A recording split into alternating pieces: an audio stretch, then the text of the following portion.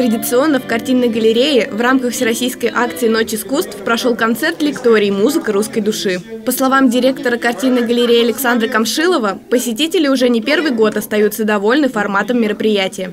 Чем формат хорош? Ну, тем, что э, можно вечером пригласить людей, никто не, э, не работает, во-первых. Во-вторых, э, люди могут вечером подсветить не сидению у телевизора или там вязанию или еще чему-то, а куда-то выйти, выйти в наши залы, посмотреть наши выставки, послушать наших, э, в общем, наш концерт.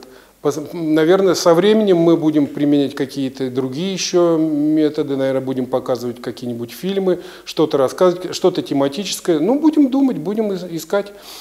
Мероприятие состояло из двух частей – в первой гости картинной галереи смогли насладиться композициями русского фольклора, послушать церковные песнопения и авторские песни о России. Во второй – познакомиться с выставкой картин Валерия Берегова, а также пообщаться с самим автором. Вот сегодня мы принимаем участие «Ночь искусств». Я сегодня буду петь колыбельную песню, вспоминать, как пели эту, такие песенки в старину. Котя, котенька, кэток – Котика серенька и хвосток, Поди, котика, ночевать, Колыбелечку качать. Уже как и я тебе коту За работу да заплачу, Дам и кусочек пирога, Целенок рынку молока. Также для гостей провели экскурсии по другим выставкам картинной галереи. Посетители смогли запечатлеть действующие экспонаты, пройтись по залам и просто насладиться старинным особняком Горбунова.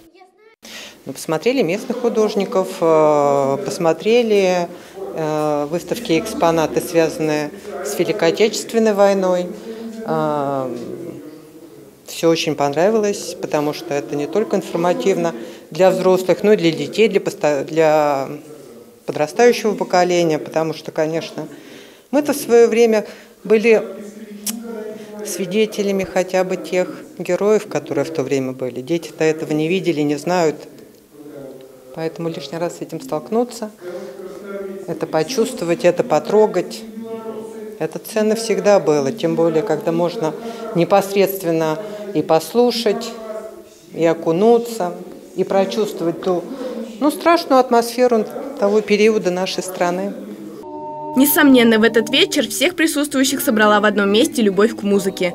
Ведь через нее можно воздействовать на душу человека и укреплять его внутренний настрой. Меняются люди, появляются современные технологии, но музыка остается такой же через века. Виктория Семенова, Виталий Гринкос, телеканал Фурманов ТВ.